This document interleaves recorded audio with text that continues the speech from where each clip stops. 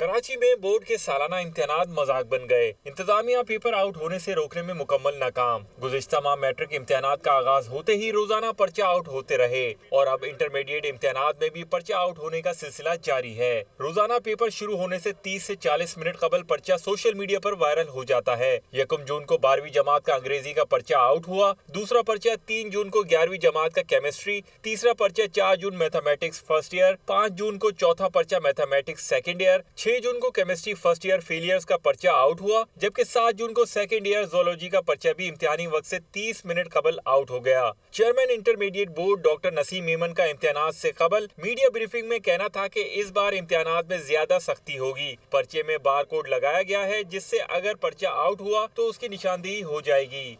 इम्तिहान जब चलता है तो उस दौरान हमारे इंतज़ाम का आपको पूरा पता भी होता है और ऑन दी ग्राउंड जब आप देखते हैं तो वहाँ हम आपको उसकी दे सकते हैं कि तफसील के ये क्यों हो रहा है या क्यों गलत हुआ वहाँ पे। बोर्ड इंतजामिया तहाल पर्चा आउट करने वालों का पता नहीं लगा सकी। रोज़ाना पर्चा इम्तिहानी वक्त से कबल आउट होना रिवायत बन चुका है, लेकिन बोर्ड इंतजामिया इस अमल को रोकने में मुकम्मल नाकाम है। चेयरमैन इंटर बोर्ड का मौकफ है कि इंटर बोर्ड कानून नाफिज करने वाला इदारा नहीं। पर्चा आउट होने से कैसे रोके, ये हमारा काम नहीं। मैट्रिक बोर्ड के चेयरमैन शर्फ अली शाह ने भी अपनी गलती तस्लीम करने के बजाय ये कहकर जान छुड़ा ली थी की तीस मिनट कबल पर्चा आउट होना घबराने वाली बात नहीं। जिस बच्चे ने पूरे साल कुछ नहीं किया वो तीस मिनट पहले क्या कर लेगा?